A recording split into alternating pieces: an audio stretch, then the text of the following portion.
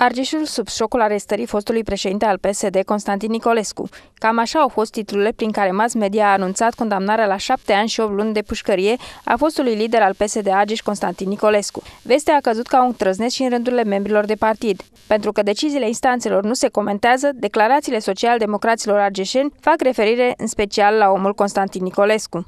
Nici nu știu dacă ceva aici e de comentat sau de, de E o situație, într-adevăr, neplăcută, complicată, grea pentru... Uh, așteptam. E greu de spus că aștepți când nu știi ce este acolo și ce... Având în vedere însă unele soluții care mai fusese date, nu putem spune că nu era o îngrijorare și că nu era o așteptare.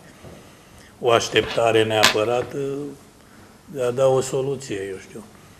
Era o îngrijorare, că vrem să recunoaștem sau nu, se știa că lucrurile sunt destul de greu de rezolvat, de complicate.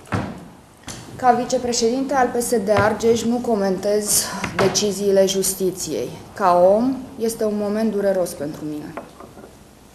Joi, președintele Constantin Nicolescu a fost ridicat de polițiști de acasă la două ore după anunțarea sentinței. Constantin Nicolescu este acum încarcerat la penitenciarul Colibaș. Fostul președinte al PSD Argeș a fost condamnat în dosarul școlilor.